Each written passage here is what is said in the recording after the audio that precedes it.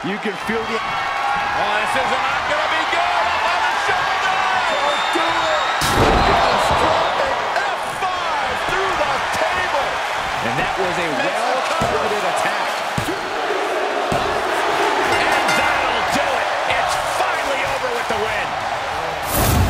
Here is your winner, Brock. Impressive win for him here. That was a dominating showing where we saw the beast, Brock Lesnar, just annihilate his opponent. That's what Brock does best.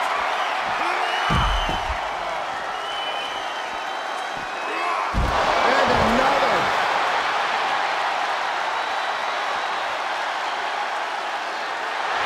Brock Lesnar looking for the submit. Lesnar